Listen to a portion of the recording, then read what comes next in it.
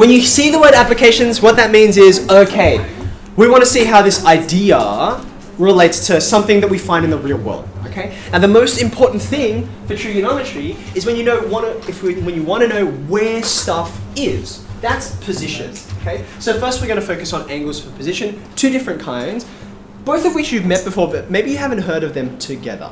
Okay, the first thing is when you got something like this. Uh, this is P for point, so this is where we are, okay? And we're looking at something like, say, a flagpole, okay? So a flagpole, maybe you're looking at the top, it's a vertical angle away from you, right? So around this diagram, what I want you to include, first is a line on the ground to the base of the flagpole. Okay? Line on the ground to the base of the flagpole. Now, what you can kind of imagine, the angle that you're measuring I could draw it flat, but this is something that exists in 3D space, the space that we live in. So I'm kind of looking at this, um, the fancy word is an, it's an isometric diagram. I'm looking at it from a perspective, okay? What I want you to imagine is if you were to draw the triangle that belongs in here, it's on a big flat piece of paper like this. Can you imagine the piece of paper? Can you imagine it stretching all the way between you and the flagpole? And now I want you to imagine, okay, where is the angle as I look to the top of the flagpole? Let's join up that line. There we go, roughly. Okay? So what I'm do is, doing is looking at it side on. Now, even though it doesn't look like it, because of the perspective, there is a right angle, which is a whole bunch of right angles, but there's a right angle in this triangle that I've just drawn. Where is it? The flag the. Yeah, very good. That's precisely right, between the flag and the floor. So what I'm going to do is I'm going to indicate that with a right angled sign. It Doesn't look like one, looks like it's obtuse, but that's because of the perspective. Okay. Now what we're doing is we're looking up at that. We're looking up. Oh my god. So I'm going to measure this angle. I'm just going to call it alpha. You'll see why I call it alpha in a minute rather than something like theta. I want another angle in this diagram in a minute. So what I'm looking at is on a vertical plane. This piece of paper is standing up on its edge. Okay? So this is about vertical position. Okay? Now, because we're looking up at it, like you're literally raising your eyes. Does anyone remember? This is called an angle of Elevation. elevation. Fantastic, because an elevator, what it does is it takes things up. So this is an angle of elevation. If, on the other hand, we were somewhere high and we were looking down at something, we call that an angle of depression.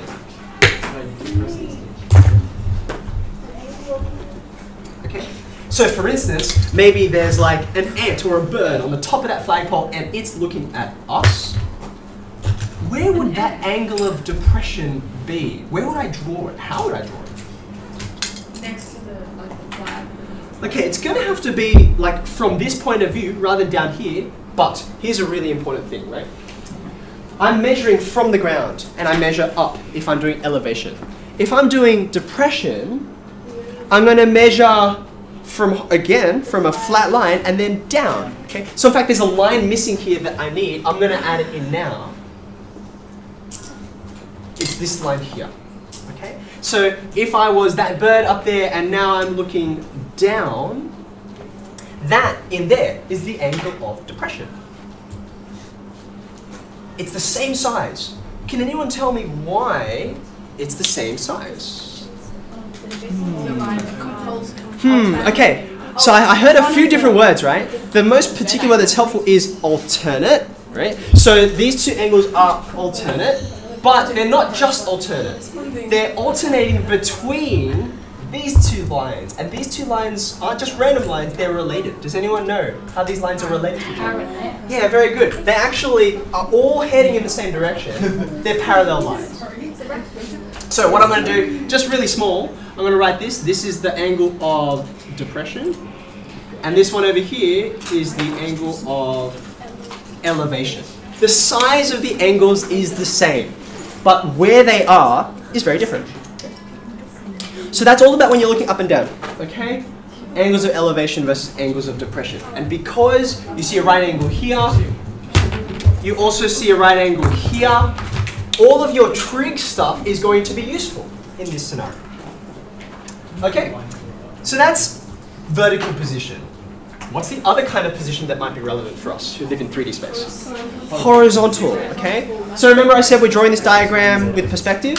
So what I'm going to do now is, just like there's a giant vertical piece of paper, I'm going to lay down a giant horizontal piece of paper. So it's kind of like, here we go, I'm laying out, I'm laying out some carpet, okay? So this is flat, this is all on the ground, this is standing on its edge. This is up in the air. Let's put something here. Let's put a person, shall we? So if I put a person over here. Now, if I measure an angle for the position of that person, something like, say, this. Let's draw a line all the way over there. If you want to describe something's position, the angles difference between you and this person over here. Okay. What do we call that? We don't call them angles of elevation or depression. That's all about up and down. What might we use? Sideways-ish. That's a very nice technical mathematical term. Let me give you a clue. We're talking about position, like which way are we facing? Old-timey people used to hold something that started with a C that they could point around. They would use a compass, right? So a compass bearing. A compass bearing is one way to talk about what's your angle to that person. Okay? So just for the sake of argument, let's suppose that this direction over here is north.